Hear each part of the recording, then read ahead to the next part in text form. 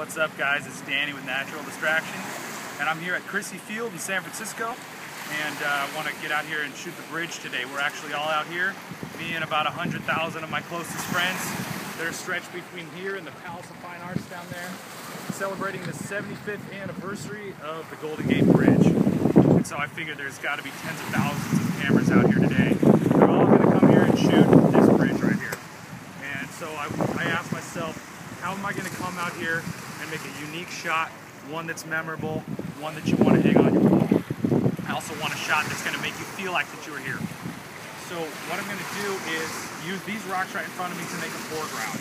So uh, what I'm going to do is get down and frame the bridge in with the dock and these rocks right here.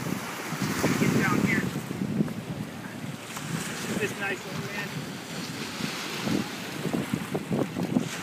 And I always go portrait shot as well.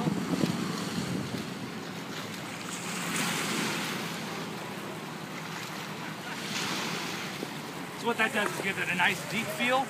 You got uh, more dimension here when you're framing it in with the rocks in the foreground, rather than just most people who will just point and shoot right in the middle of the bridge. So it's going to make it more memorable. Hopefully that gives you some tips next time you're on vacation at your favorite tropical island, taking pictures of, uh, of the scenery. So uh, that's it for today. Thanks for joining me, uh, and look for my uh, pics on my Facebook site, and also come check it out at naturaldistraction.com.